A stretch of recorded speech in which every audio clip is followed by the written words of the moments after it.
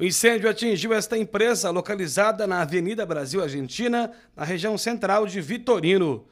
A empresa do ramo de furgões é especializada em reformas e vários deles estavam no interior do barracão quando o fogo iniciou nesta manhã.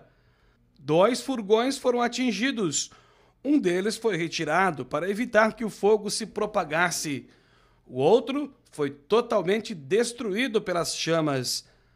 Uma equipe do Corpo de Bombeiros de Pato Branco foi acionada e atendeu a ocorrência em Vitorino. Estava sendo feita a manutenção de um desses baú refrigerado.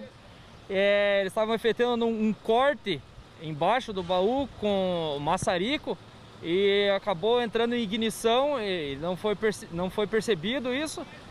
E o fogo começou a se alastrar é, para evitar que se propagasse para, para outros materiais no pátio, foi, foi removido esse baú de dentro do, do pátio da empresa e feito o combate a incêndio aqui na, na via pública. Apesar das suspeitas, as causas oficiais do incêndio ainda são apuradas. Apesar do susto e dos estragos, ninguém se feriu.